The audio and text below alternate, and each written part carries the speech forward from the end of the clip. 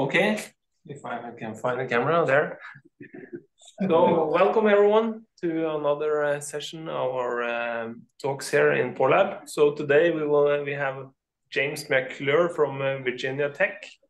We will give a talk.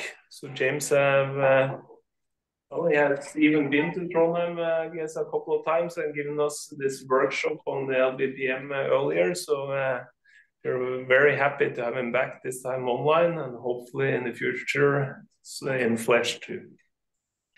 And uh, his uh, work is uh, should be very relevant for uh, a lot of people here who's working on similar topics. So uh, please, uh, James, go ahead. Thank you. It's always a pleasure to interact with the PoreLab group. I have a really high regard for the work that you do, so it's always it's always a pleasure to you know be able to to hear from you and, and get your feedback on on things that are happening and things that you're doing. So, so um, oh, now it's not letting me advance. Okay, there we go. So the main uh, topic for this talk uh, is going to be to develop a strategy to derive the relative permeability for two fluid flow using time and space averaging. Um, and, and the main motivation from this is due to the issues created by geometric discontinuities when you have topological changes. Um, and this uh, really creates problems because if you if you can't take a derivative, certain kinds of theoretical approaches, you know, are off the table. So we, we started worrying about this and say, how do we deal with this? Um, and this actually gives some framework to understand what kind of couplings can occur between thermodynamic and mechanical uh, fluctuations when you have uh, systems that you're subdividing. Um, this directly relates to the validity of the ergodic hypothesis, particularly in big systems. So I'm going to spend a bit of time talking about how do we deal with ergodicity, and in particular, uh, how do we deal with ergodicity sort of at finite time scales, and what do we do if the system isn't ergodic, you know, at some scale. Um, so the multi-scale averaging framework that will be developed is uh, really this integrating uh, systems in time and space as a way to homogenize systems with slope fluctuations. And then based on this, there's a link to REV systems. You know, can we use this kind of theory to make more precise statements about the linkage between spatial and temporal scales in a system? So the, the geometric picture, you know, that really drives this is based on the Minkowski functionals, which I, I know a, a, a number of you are already familiar with it. Normally, I wouldn't jump right into it, but with this group, I feel like I feel like you'll be uh, I'd be beating a dead horse if I talked about it because I think many of you already, you know, are really very familiar uh, with with work in this area.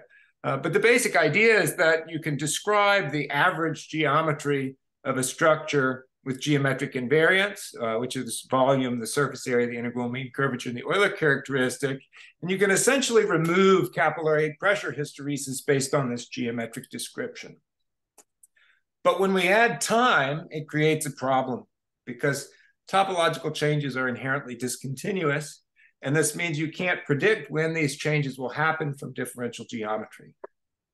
So you have to have essentially some other tools because topological changes are really common.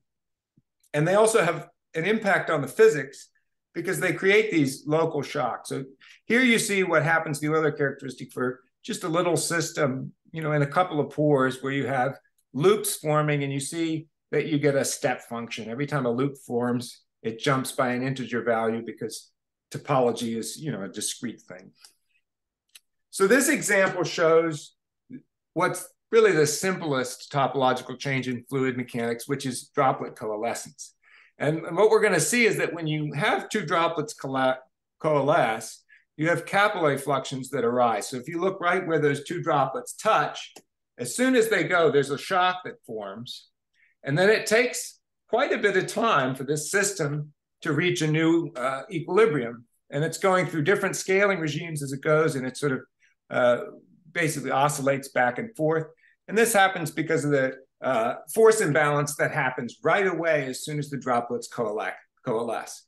Uh, so they really haven't uh, had any time to sort of mix information together. And the time scale for the non-equilibrium response is going to depend on the length scales for heterogeneity in the system. So if we look at what this, uh, you know, what these dynamics would look like, Um, and I'll talk about how I get to this uh, equation here, but this is just looking at the pressure fluctuations in the in the fluids and the surface area changes. And, and the graph is showing what the pressure fluctuations are doing. You can see there's almost perfect symmetry between what's happening in the droplet and what's happening in the surrounding fluid. That is, there's, you know, and this is based on conservation energy and based on the fact that one fluid is pushing against the other. So there's a sort of built-in symmetry. And um, this is really significant amount of energy that's going into these fluctuations compared to the amount of pressure volume work in, in the system and the, and the dissipation for that matter. so this tells us, uh, you know, some, some sort of interesting challenges with, with geometry that we have to deal with. And uh, the challenge of a discontinuity in particular is something that troubled us because we know that um, at, at the molecular level, the Hamiltonian is smooth. So how do you get a discontinuity into the physical representation?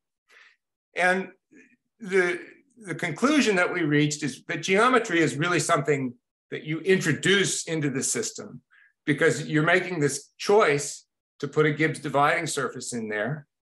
And this is not going to be an intrinsic property of the system. It's a, it's a modeling choice. So it's actually a question of the representation introducing discontinuities into a system, even though you have some underlying smoothness there. And that's why these symmetry properties come out.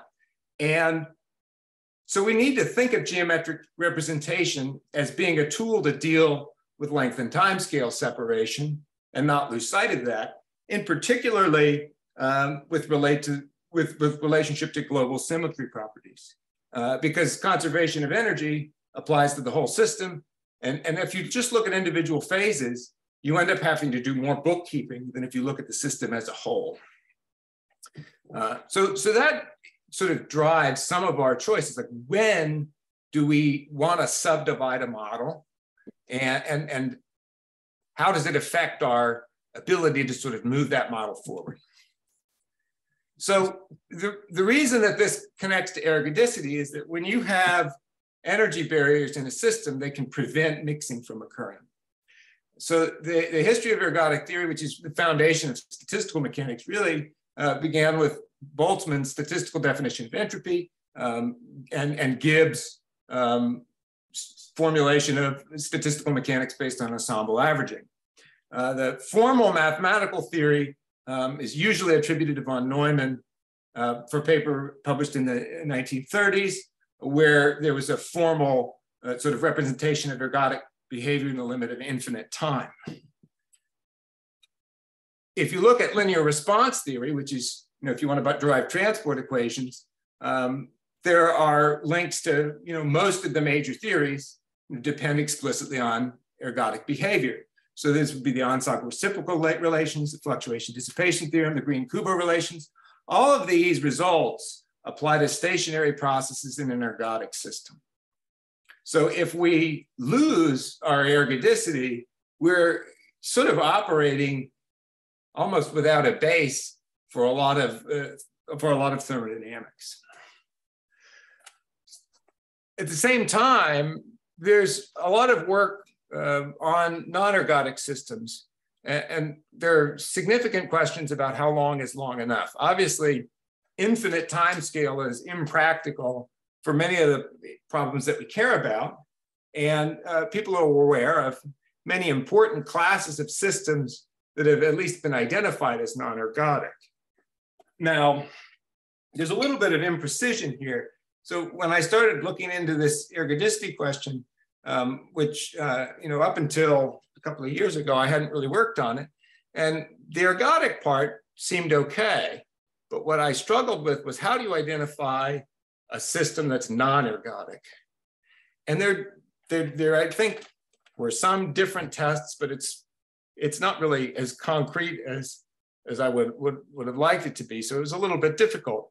Um, but what what these systems have in common is that there's a time scale of interest that's fast, faster than the mixing time scale. So the mixing time scale is important because basically the, the, you know as molecules bounce around and, and, exchange energy this is what is giving rise to equipartition of energy in the system. So if you have things that slow down mixing, like subdiffusion based on energy barriers, then you're going to end up delaying the rate of mixing in the system. So what do we do if the ergodic hypothesis doesn't hold? So first, you know, based on this idea that mixing is the mechanism that leads to energy, uh, we need to identify the length and time scales that we care about. Uh, that is, what is our scale of interest? What do we take? What is the scale we take measurements at? And, and can we estimate based on the time scale, the, the, the spatial scale at which the system is well mixed?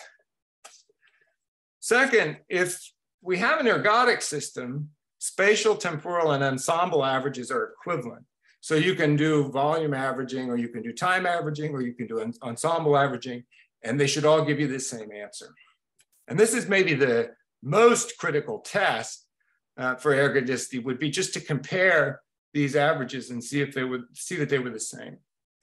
Now, if you don't have an ergodic system, the conclusion that we reached is that you have to explicitly average the dynamics in space and time. Basically, you take the actual observed dynamics and you just integrate them, and that provides a path forward. Because it doesn't depend on ergodicity, it just depends on your functions being integrable. And, and then finally, in an ergodic system, the fluctuations have a Gaussian distribution, um, but, but we're going to try to formulate an analysis without making any statistical assumptions about the fluctuations. Um, we're we're going to rely on conservation principles to try to understand what constraints they, they impose. So it's not, you know, this is basically just saying that we're not, this isn't a statistical theory, um, you know, at the scale of the, the Darcy scale. So, you know, building on this kind of idea of defining ergodicity at a fixed time scale, suppose that you take a thermometer and you put it into a system, right? And you measure the temperature for some period of time, which is going to be this, uh, this tau m, the diffuse, uh, given this, given this time scale, the molecules in the system will sort of bounce around. And from the Einstein relation, we know about how far they move during this length of time. And so based on this length scale, we can define a volume where we can say, all right, well, the system is going to be well mixed at this scale, but as long as it's homogeneous within that region, uh, it should be a reasonable estimate. So we figure out what this length scale is. And, you know, thermodynamics works really well at small length scales. So uh, we can pretty much always define a sufficiently small uh, region where ergodicity will hold. And this means that we'll have a sort of firm base in terms of statistical mechanics, even if that base falls apart at some larger scale. So this provides a way to upscale the dynamics to larger systems without assuming that the system's globally ergodic.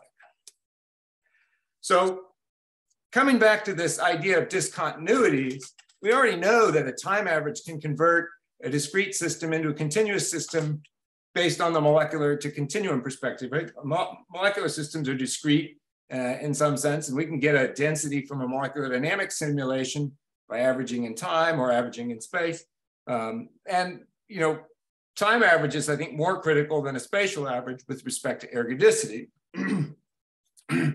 so um, this basically gives us, you know, a way to move to larger scales where you have geometric discontinuities, right? Because if we average these discontinuities in time, we're going to take that discontinuity and effectively smear it out so that it doesn't look discontinuous anymore. So it's a way to get rid of discrete effects.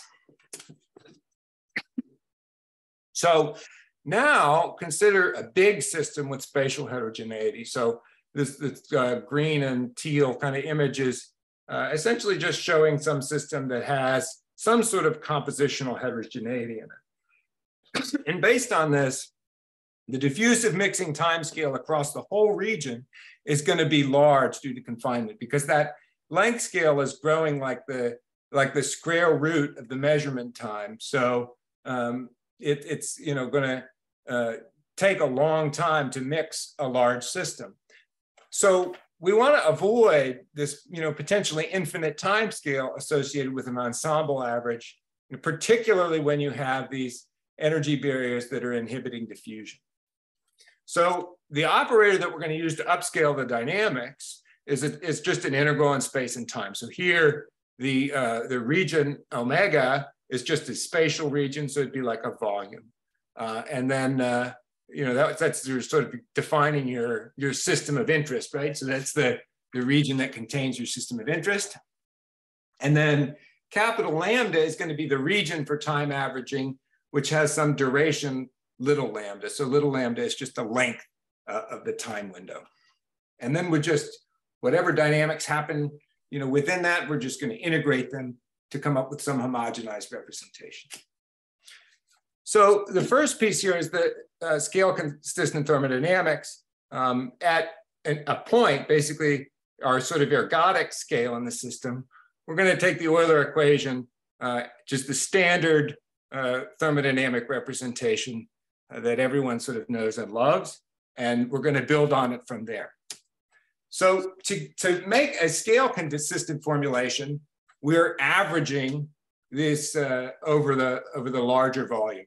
So if we have an extensive variable, which are the internal energy, the entropy, and the number of molecules in this case, uh, we're just going to add those things up. So we just integrate them so that those properties have the identical meaning across scales because we don't, you know, we can't say, you can't redefine what the number of molecules mean just because we've changed the scale of interest for our system, right? And then this constrains the intensive properties as well because we want to make sure, for example, that the amount of thermal energy is the same, you know, independent of the scale. So basically we're going to make sure that the integral of Ts is equal to the average temperature and the average entropy at the larger scale. and then the, the next piece is the fluxes. And since the, the continuity equation doesn't have any transport coefficients in it, we have to make sure that this representation stays the same as well. So our diffusive fluxes, uh, the momentum, uh, and the entropy flux have to also be just direct integrals uh, of, of the associated quantities on the bottom. So the, you know, the mass flux, you know, is going to have a, a scale independent kind of form.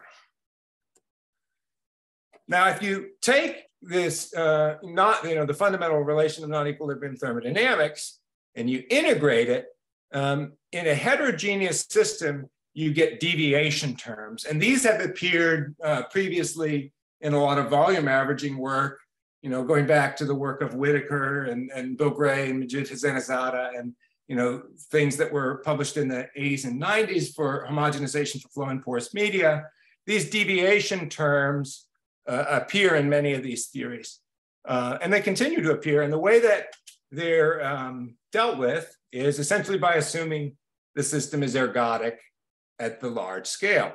So what we're going to do is basically say, we're going to keep them. We're going to see what they do. So, and these are just the deviate, the deviation terms are just the difference between the microscopic value and the average value. So let's consider a, a simple case here, which is the Carnot cycle.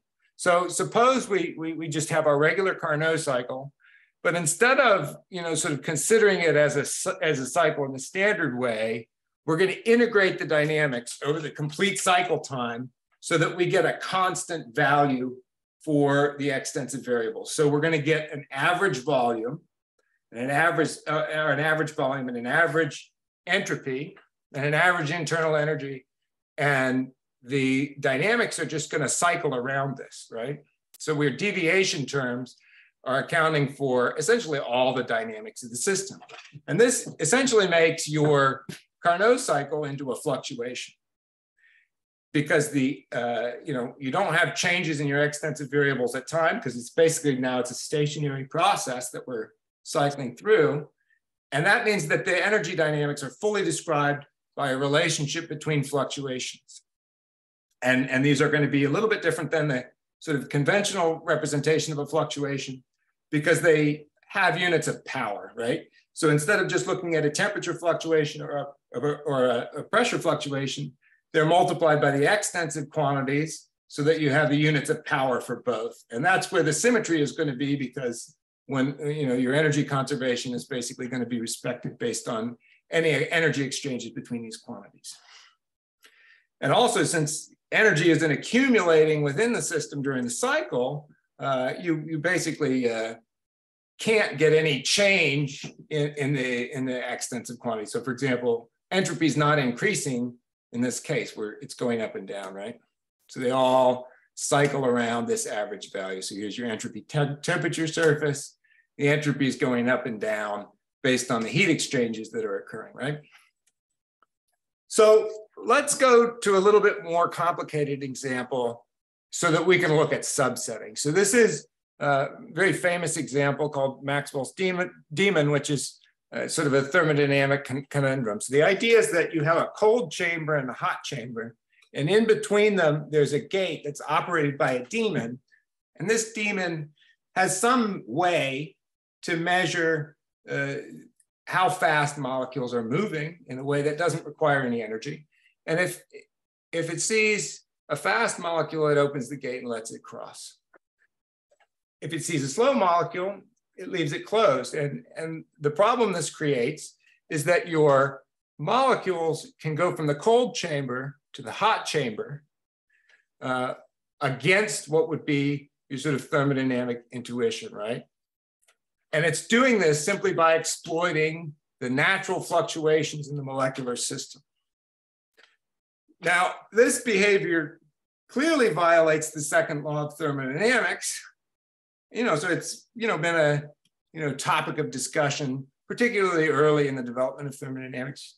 Uh, so let's look at what this, what happens here if we subset it. So we have these two regions, right? We're going to take our thermal energy, since it's just an integral in time and space, we can break it up into an integral over the hot region and an integral over the cold region, and we get uh, representation of the temperature within each of the subregions of the system. and then the entropy and temperature are, are just going to be defined accordingly. So it's taking advantage of the scale consistent representations. And you'll get a consistent representation whether you assume that the total entropy and number of molecules were the state variables, or if you assumed that it was sort of dependent on the state within each of the subchambers. There uh, is an algorithm that we put together uh, that uses Maxwell-Boltzmann statistics to simulate Maxwell's demon. So the entropy for an ideal gas can be described by this equation. It's the Sackur-Tetrode equation. And so you can just go and derive basically what would happen if you had a demon that would behave in a certain way. So this molecule is just going to let molecules with a sufficiently high uh, speed cross the gate. So what happens, right? So this is a plot of the entropy. So the black curve is going to be the global entropy. The blue curve is the cold chamber. And the red curve is the hot chamber. And because I'm interested in stationary processes, at time equals one second, I'm going to disable the demon just to see what the system does. And it comes right back to its initial state. So even though the, the second law is violated because you have this decrease of entropy that happens at the beginning when the, when the demon starts working, uh, those changes are fully reversible. Basically, what the demon is doing is it's postponing the equilibrium uh, by exploiting the sort of natural fluctuations. Now, what happens to the other variables is really interesting. So if you look at the number of molecules, as this entropy is segregated, you can see that there's more and more molecules popping up in the cold region, right? And there's less and less in the hot region. And then if we look at the pressure, you get a pressure difference across this barrier. So the pressure difference is uh, you know, pretty significant due to the fact that you have more molecules in one chamber compared to the other. And the same is true for the chemical potential. So you get a, a, a, discontinuity in the chemical potential at the barrier. But you don't for the temperature.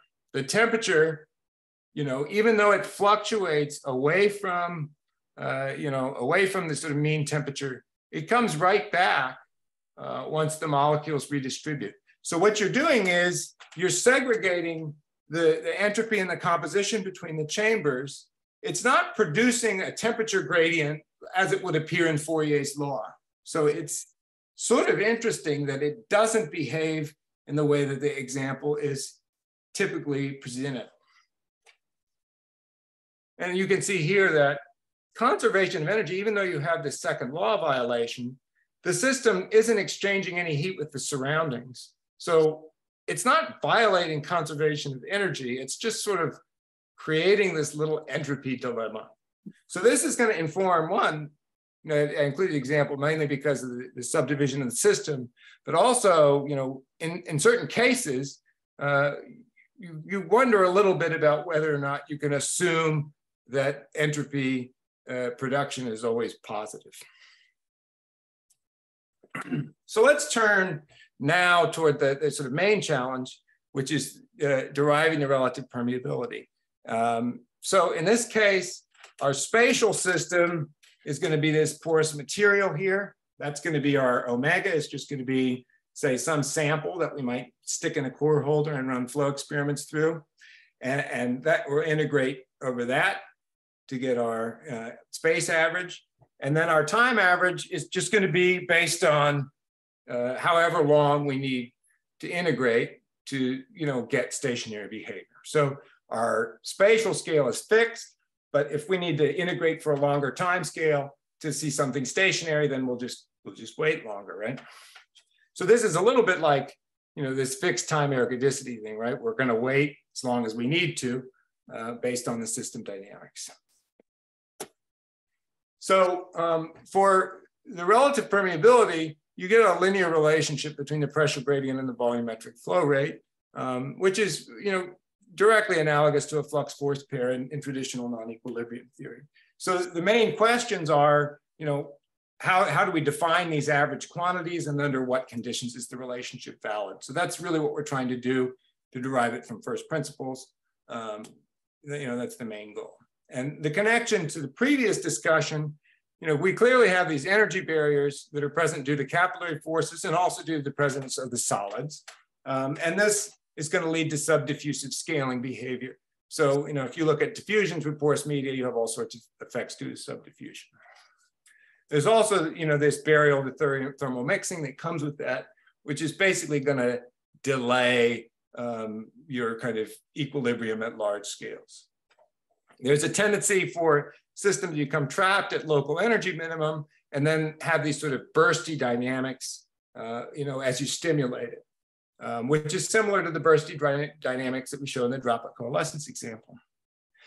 And if you think, if you look at this Ostwald ripening process, which is basically diffusion uh, creating equilibrium between droplets based on the uh, partial pressure, the time scale for equilibrium can be years to decades at geological length scale. So it's really a very slow approach to true equilibrium.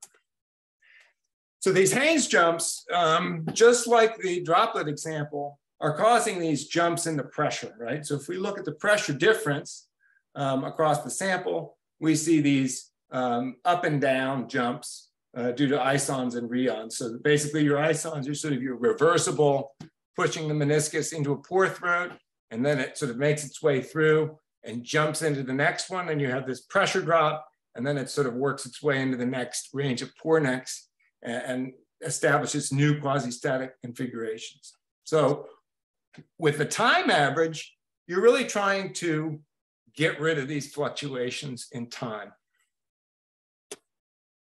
So we, we introduced this sort of diffusive length scale that's defining our, our, ergodic length scale.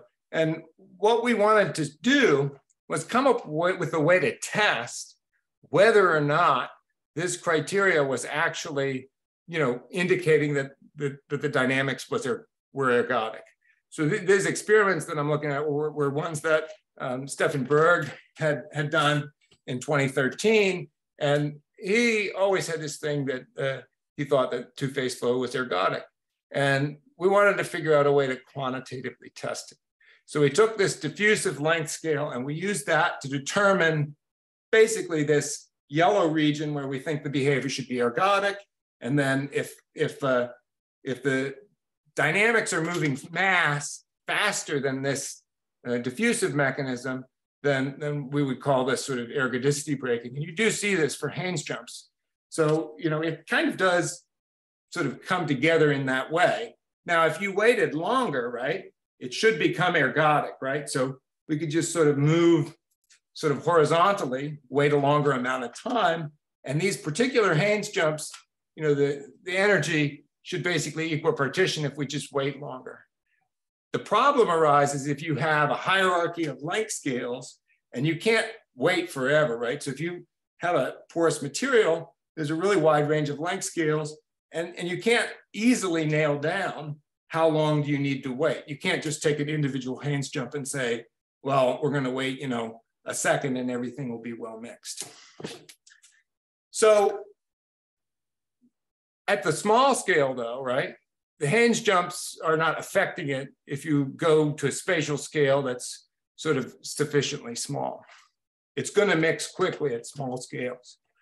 So if we integrate the energy conservation equation, and I already dealt with this DUDT term previously um, with the fluctuations earlier, um, we're just adding other, other conservation terms for energy. So this is just a standard conservation of energy you know, form with uh, with no body sources of heat.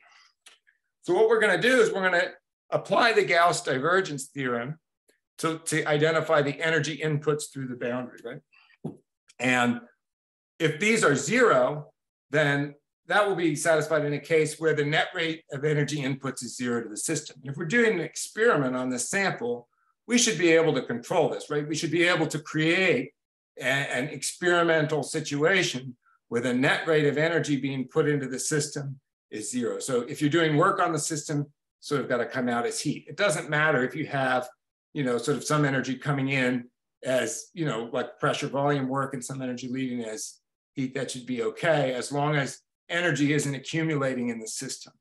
So if we can construct an experiment that way, this term is zero, and the extensive variables here are also going to be zero. So the fluctuations can contribute, but they'll cancel, right? So they, they, or well, they may cancel. They may also couple the mechanical modes. But the, um, the net rate of entropy production and then the number of molecules and the total internal energy will be zero, just like it was for the Carnot cycle. So we'll just choose lambda to be big enough that this is true.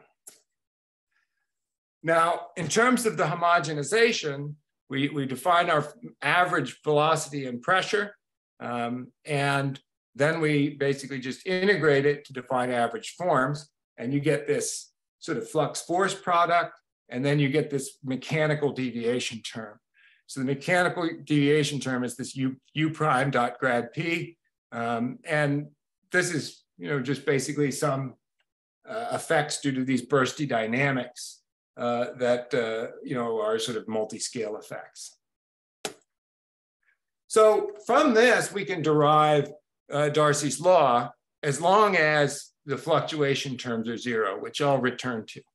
So you end up with a flux force form. You don't get entropy production. So it's a, a little bit different from what you would traditionally do in non-equilibrium thermodynamics because you're relating the heat uh, to the, the flux force pair instead of the entropy production and you know, and so your heat is just determined if you you know assume there's a Newtonian stress tensor, um, you can you know basically uh, get some inequality um, because this thing's positive, just like you normally would, and you can use that to derive Darcy's law. In the two-phase case, you can the same form holds. The only difference is that instead of integrating over the whole system, we need to integrate over the subregions. And that's going to divide, what that's going to do is it's going to change the definition of the flux. So your, your U, uh, the term that would be your, your total flow rate gets divided between the water flow rate and the um, oil flow rate. And these are just, they're spatial subsets. You could also subset it by mass, right? If you wanted to. But in this case, they're, they're spatial subsets and, and but you get the same thing on the right-hand side. For this to hold, right, to get this multi-phase extension of Darcy's law, we get a fluctuation constraint. And the fluctuation constraint has a, a mechanical flux, um, a mechanical contribution due to u prime dot grad p, and a thermodynamic uh, contribution due to the the thermodynamic deviation terms. And you can obtain the relative permeability relationship as long as this thing's zero. So what we want to do is just evaluate this from simulations. And, and note that it doesn't have to hold microscopically, meaning the integrand doesn't have to be zero. It just has to cancel if we consider a long enough time. So our, our, our knob that we can turn is the, the time interval lambda, because if we look at a long enough time interval, this should really become ergodic and, and those terms should cancel each other. We can also, using the same approach, derive cross-coupling terms if we also break up the pressure, right? And so if we take that grad uh, phi p, which is the porosity times the pressure, we can break this into a term where we have the pressures for each subregion. And in this case, you're going to get a cross-coupling form. But this is really a modeling choice. So what we see from this is that you can derive the standard relative, uh, relative permeability if the driving force is the total pressure gradient. If you want to use the pressure gradients within each fluid, then you have to have a cross-coupling form, which is something that's been showed by uh, a number of authors you know, over the years. And, and that's really the distinction, I think, and probably the main thing that you learn from, from this study, other than uh, studying the, the, fluctuations, is that you can derive standard relative permeability uh, based on an appropriate driving force. So here's the simulations we're going to consider. Uh, we have two different wetting conditions and a few, um, you know, sort of different saturation values. Uh, so the, the, time axis is showing basically how things are fluctuating. So you can see that depending on the wetting condition and depending on the, um, the saturation, you get different fluctuation profiles. And some of these, you get quite a bit more fluctuations than others but they're mostly uh, going to be stationary processes. And if they're not stationary, we can also test that. So this is also, it's capillary number one to the minus five. So it's a low capillary number case. First, the top, the topology is a key problem you solve by doing a time average because instead of getting discontinuities, what you get is something like a topological residence time. Basically, how much time does the fluid spend in a particular connectivity state. So even if there's all sorts of dynamic connectivity going on, uh, you can determine how important they are relatively uh, based on how much time the system spends in a particular state. You see that you know, in a number of cases, you get multiple peaks uh, because you have different metastable fluid configurations that the, the, the you know, that are, that are sort of dominant at different times. So you might have one sort of connected pathway for a little while, and then that breaks down for some reason, and another one forms. And if you look at a long enough time scale, it should sort of alternate back between these various metastable states. But they're going to cause sort of weird distributions um, based on the fact that you know there are you know you know sort of particular states that are going to be favored. So for pressure fluctuations, and we ran a bunch of these to try to get a sense. So sometimes if you run a fast simulation, you can get things that don't have mean zero. You can get things that have multiple peaks. But I do think it's true that if you run a long enough simulation, you, you can get a pressure that's somewhat close to Gaussian. It's also true that if you add the two pressure values together, just like in the droplet coalescence case, they'll tend to cancel each other a lot. So you'll get a narrower distribution uh, when you consider the total sort of pressure fluctuation as opposed to just looking at the fluctuations in oil or the fluctuations in water. You also have to consider this the surface energy, um, which you know is you know when a Haines jump happens, for example, your pressure does work again in, into the surface energy, and then that can come back out when the surface energy does work against the pressure. Um, so you have to think about that energy piece. Um, and then the uh, mechanical fluctuation term, this U prime dot grad P, uh, ends up being potentially the most interesting quantity of, of, of the ones we're looking at here, um, at least for this simulation. So you, you see cases where you have different peaks. And the idea is that this is probably accounting for those Haines jumps that are associated with transitions between different connectivity states um, you know, during the displacement. now, comparing stationary to non-stationary, um, the case on the left shows something that would be, you know, basically a stationary case where the fluctuations are canceling so that there's no net contribution to the energy dynamics from these extra terms. The case on the right shows where you have one slow timescale process, and this is from this velocity deviation term, and the net contribution is the green dashed line, and you can see it's about, uh, you know, maybe 10% of, of the total, um, you know, basically the, the work that's done, you know, according to the relative permeability coefficient. So that would essentially be a level of certainty, uh, you know, on your uh, on your relative permeability coefficient. It would be like an REV uncertainty, right? Because it's uh, it's telling you how much of the energy that you think is dissipated is actually potentially in these sort of fluctuating modes where you don't know where that en energy would end up over the longer time scale.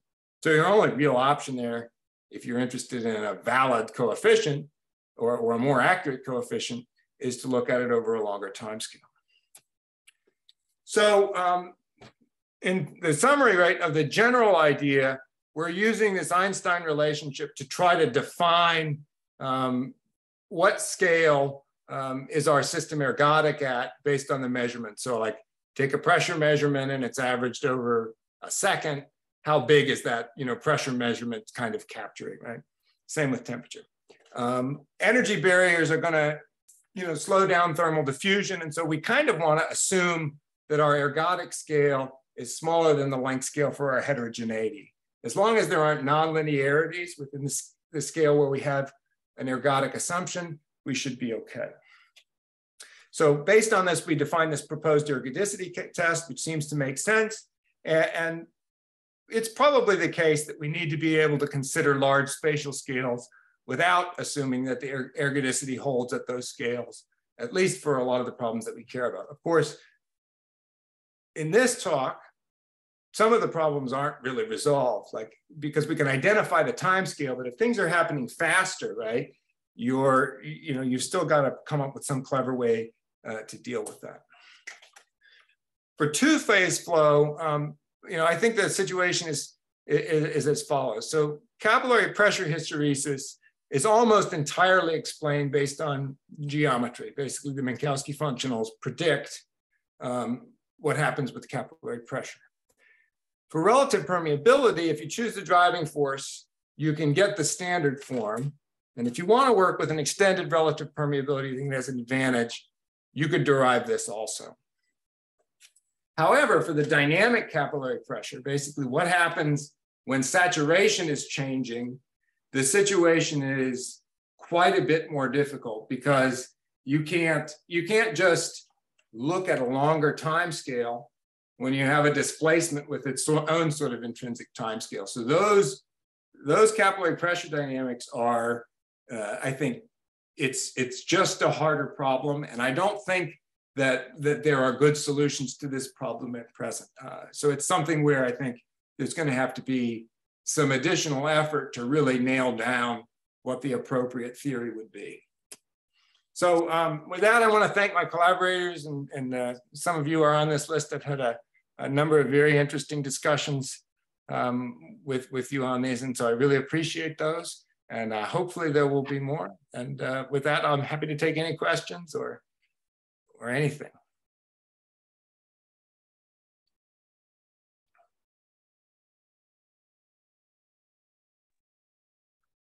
So then uh, Florence, open for question. If I don't know if he hears me. I hear you. Ah, okay. Well, nice talk. I listened with interest, but I do have, of course, many questions. But let me start with one. Take the Einstein relation that tells you basically that you can get the diffusion coefficient by following the velocity, say, of a particle or the displacement.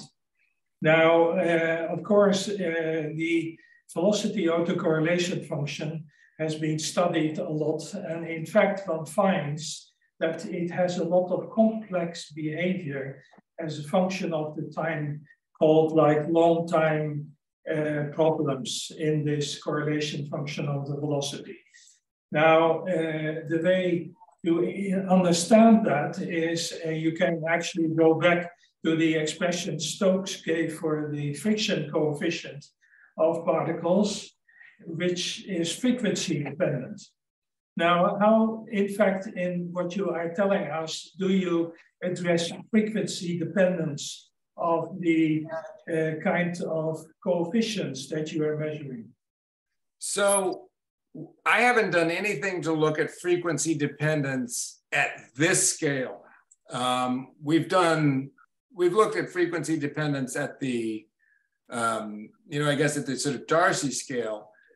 Now, a lot of the work that I'm doing, you know, is with Lattice Boltzmann methods. And one of the limitations there is that you have a minimum time scale. And because you're, you're basically assuming that there's a relaxation to the Maxwell Boltzmann kind of distributions that's happening over a time scale, which means that any kind of frequency character that's inherently molecular in nature isn't in the model, right? So that could be in experimental data, but it's not something that I can resolve in, in this approach because it's sort of abstracted away. Now, if you have any resonances in the system, you are saying that I should measure long enough so that they do not matter.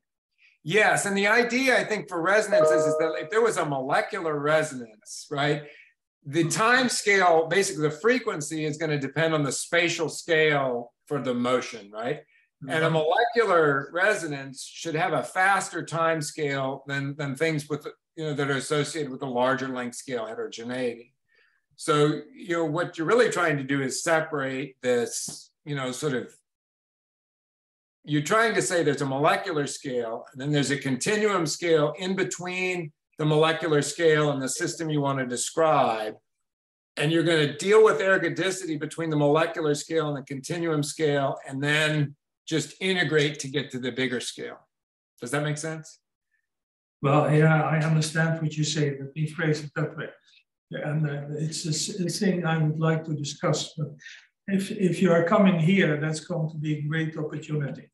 I, I hope so because I've been I've actually been working a little bit on trying to do the some uh, ion transport modeling with these, and I would be really interested in talking with with with, with you about these because I know you've worked on them before.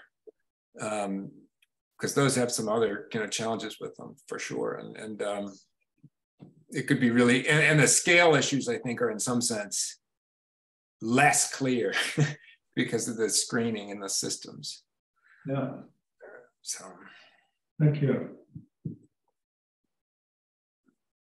other questions do we have some uh, questions online i have hey oslo can you hear us yes. i can hear you Okay, yeah, this is Per Rikvold in Oslo. I had just had a detailed question about your uh, Maxwell demon.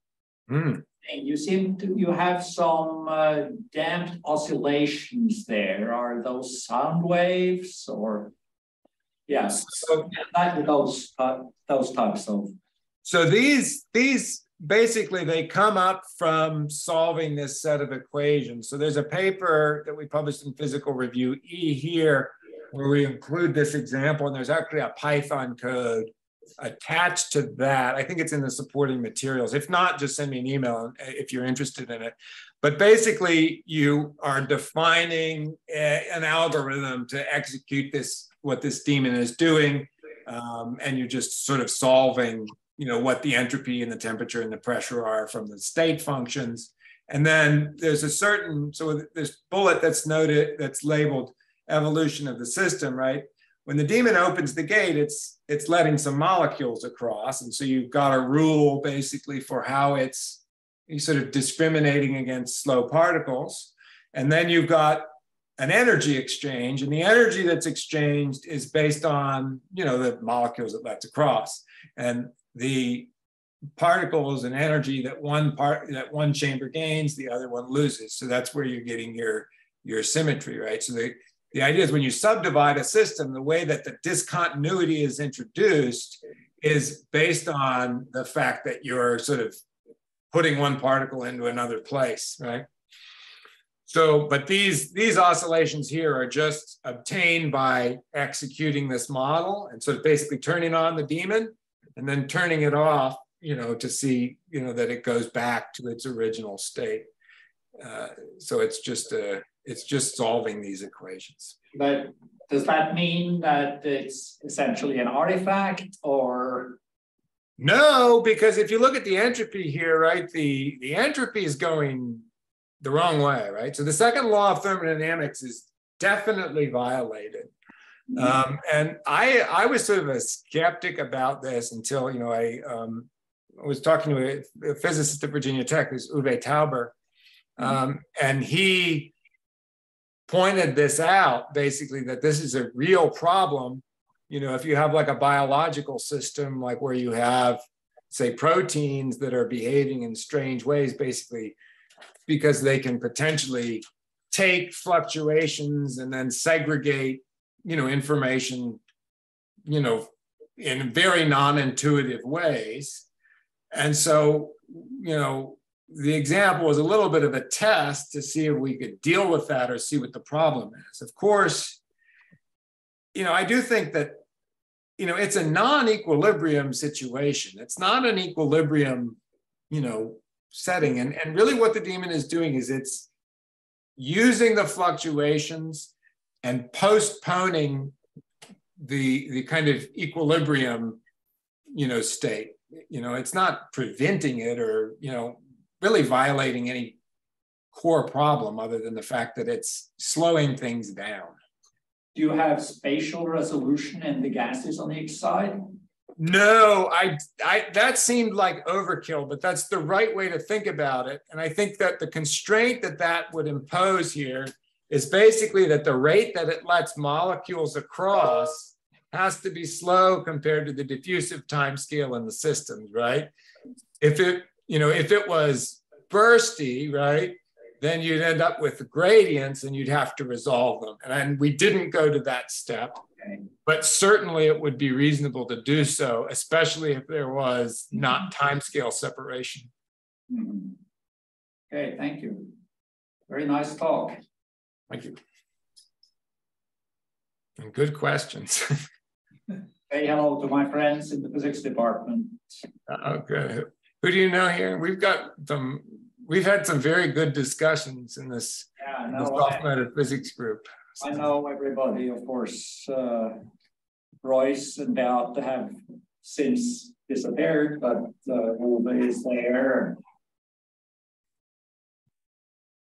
Yeah, it's a, it, there's there's some good uh, new faculty too that, that uh, yeah, I, mostly experimental people, but there. Yeah, good. Okay, are there more questions online?